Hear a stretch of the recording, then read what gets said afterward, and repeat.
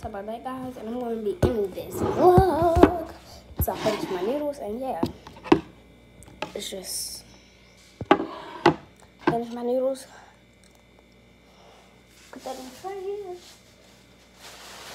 Finish my noodles, and my vlog is over. My mukbang is over. That vlog. Keep saying vlog. Bye.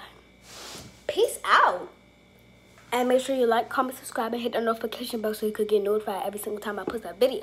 And if you want to get a shout out, go follow my TikTok page at London Crawford. Go follow my sister at Jazzy Pooh. And go follow my best friend, Jordan.